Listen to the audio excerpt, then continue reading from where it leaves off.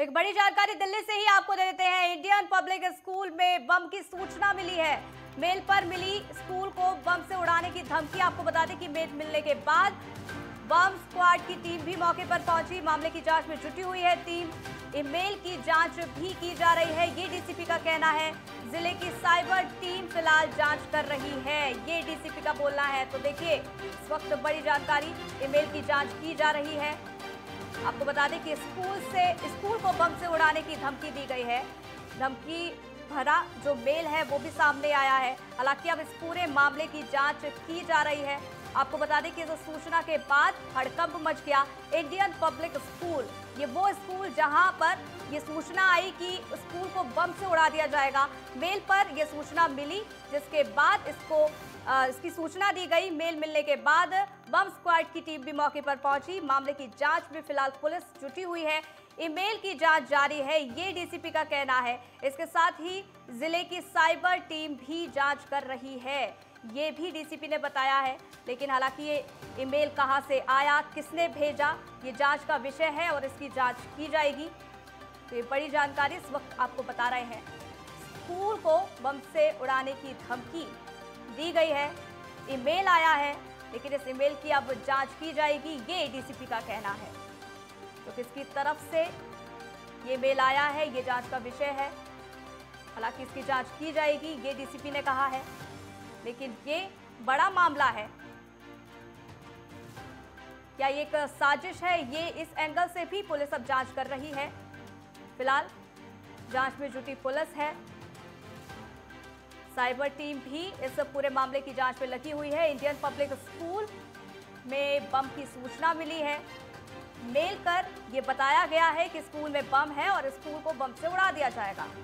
जिसके बाद आनंद फानंद में इसकी सूचना पुलिस को दी गई। अब पुलिस ईमेल की जाँच कर रही है और ये ईमेल कहाँ से आया है, इसकी भी जाँच की जा रही है।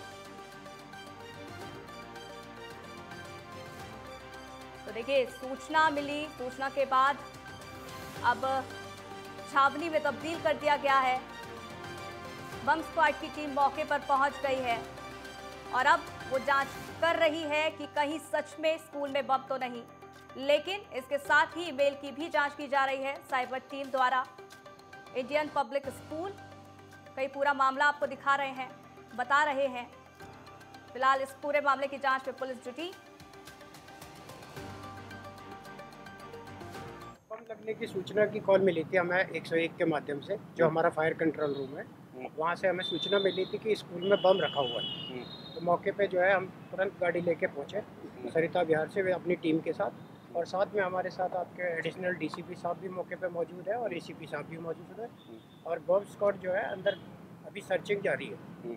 जब तक सर्चिंग नहीं मिल जाएगी एनओसी नहीं मिल जाएगी अंदर से, तब तक जो है हम मौके पे तत्पर खड़े हुए तो लवली बख्शी हमारे संवाददाता हमारे साथ जुड़ गए जरा जानकारी उनसे ले लेते हैं। लवली इंडियन पब्लिक स्कूल है जहाँ ये धमकी भरा लेटर आया है मेल आया है कि बम से उड़ा दिया जाएगा। हालाँकि इस वक्त मौके पर क्या कुछ हलचल आप देख पा रहे हैं? देखिए, इसके अंदर पुलिस ने जो जानकारी एकत्रित कर बम स्क्वाड को बुलाया है और उसके अंदर फायर ब्रिगेड को भी बुलाया है। पूरे स्कूल स्टाफ को स्कूल को खाली कराया इमारत को खाली कराया है। लेकिन अभी तक जो जाँच के आगे किसी तरीके का कुछ नहीं मिला और ये जो ईमेल आई थी, ये सवेरे 11 बजे के आसपास स्कूल परिसर के अंदर बम प्लांट के लिए ईमेल आई थी। फ़िलहाल पुलिस अब जाँच में लगी है कि ईमेल किसने भेजी थी और कहाँ से आई थी और इसके पीछे कौन शख्स जुड़ा है जिसने इस तरीके की अगवा का अंजाम दिए हैं ताकि माहौल इस चुनावी दौरान माहौल को खराब करने के लिए। लवली, क्या इससे पहले भी इस स्कूल में क्या ऐसी कोई धमकी सामने आई थी? स्कूल प्रशासन का इस पर क्या कुछ कहना है? क्या किसी पर कोई शक? देखिए इस मामले के अंदर फ़िलहाल दिल्ली पुलिस जाँच कर रही है। तब तक दिल्ली पुलिस अपनी जाँच पूरी नहीं कर लेती तो इसको लेकर स्कूल प्रशासन किसी भी तरीके का कोई पुष्टि नहीं कर रहा, किसी तरीके का कोई बयान नहीं दे रहा।